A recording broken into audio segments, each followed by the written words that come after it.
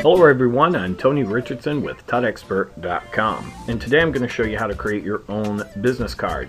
Now the template I'm using is a 3.5 inch by 2 inch business card and this is pretty standard. If you've noticed I've sectioned everything out into zones. The green area, green on in, is a safe zone. Anything that's printed or typed or you know put in this area is safe. It won't be clipped or trimmed. The red is where their machines will actually trim this if you upload it to Vista or GotPrint. Um, if you go to their websites, here's Vista, go to business cards and see all business cards, you can get some ideas of what it's going to look like.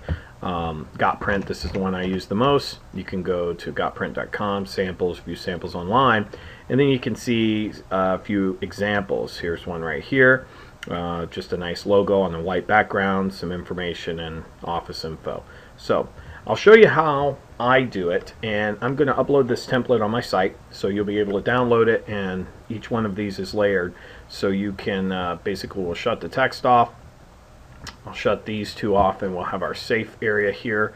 And I'll create a new layer. We'll rename that background. And then I will fill it with white. Shift F5 will do it. Or you can just go through the menu like I did. Now let's go ahead and drop in a logo. And I created a logo just before doing this. Um, let's see, here's a logo. Now this is just a made up name. That doesn't exist. But um, if you do have a logo, if you see uh, and you're resizing it, just hold shift and it'll constrain proportions and will keep you from skewing the logo.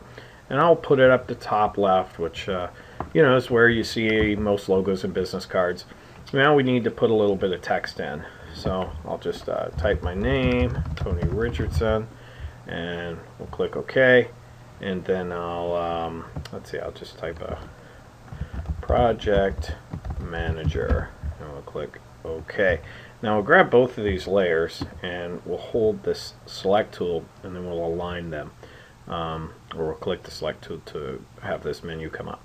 Now one thing I'm going to want to do is going to want to change the colors here. We'll do uh, 31, 31, 31. Alright, so that we can stay consistent. And project manager, let's go ahead with 53, 53, 53. So it's a little bit lighter. I'll click OK. Um, that should be enough. And then I'm going to move him down just a bit. We'll double click on my name, make it a 10 maybe and double click on this one and it looks like it's a 6 already so we'll leave it at that but I'm going to drop him down just a bit alright now let's go ahead and let's put uh, maybe we could put some info up here or we could just uh, maybe this could be the company information and this area here can be uh, my information or you can do it just about any way you want we'll just go ahead and type some text in here somewhere road uh, this would be in Lansing, Michigan, 48910, and then um, oh, I clicked out.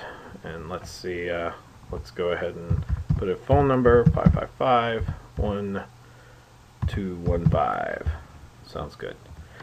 And uh, you can call me there. I promise I will answer right away. Actually, I won't because it's not a real number, but um, you probably knew that. We're going to grab, I, am I'm going to put a little line here, so I'm going to use the uh, vector tools here, and I'm going to zoom in so I can get just a few pixels wide, something like, uh, about like that.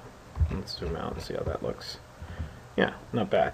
Um, maybe we want to put a, you know, I'm, I'm, I like corporate clean, so maybe we'll just put something like a website down here, www.tutexpert.com click OK. Maybe we can align that with the rectangle tool by grabbing a select. We'll center them and looking pretty good.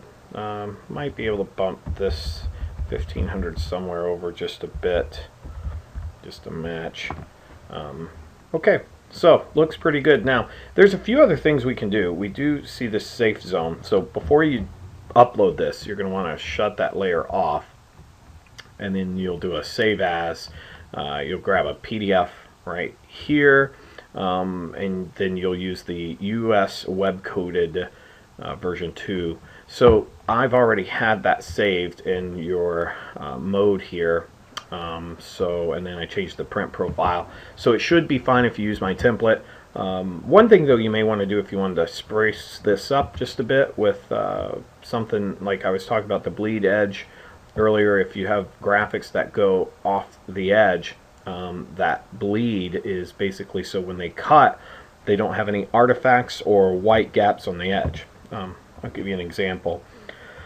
I just have right here just the logo itself for this made up company of mine. Uh, and I'll just pull this off the page to where we can still see it. Actually, I tell you what, let's drop it all the way below everything else. Then I'll duplicate it by just dragging it down to create a new layer and then we'll grab it and we'll pull it all the way up to the top right here. Okay, now um, that's a little busy so what we'll do is we'll create a hue and saturation adjustment layer above it. We'll let's just, uh, we'll actually ramp the saturation up a bit and then I'll drive the lightness just so I can keep the colors because if I pull the saturation down won't be able to quite see the difference in colors here and it looks like we're losing them a bit anyway so. But for a watermark that's kind of about where we may want this to be. Um, but yeah that looks pretty good. That's pretty sharp. So it just gives you a little bit of an idea of some of the things you can do um, you know you can put more information right here if you wanted uh, with this at the top, you may not want too much going on here. You may not want any information, maybe a phone number or something for the company, uh, if this is your cell. But you can, you know, you can design this any way you want. This is a nice corporate, clean, crisp look. So you would make sure all your layers are off. You can uh, look. That's your safe zone.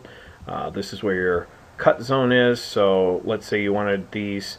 Um, these circles here to, to actually show up. One thing you're definitely going to want to do is, um, oh, that's the wrong one, so we'll grab it.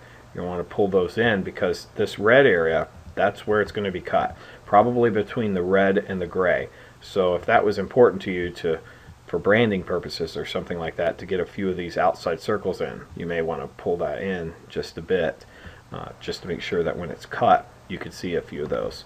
So it's just a few tips. Uh, once again, I'm Tony Richardson with TUTExpert.com. If you're on the site, go ahead and check out another video and get yourself some knowledge.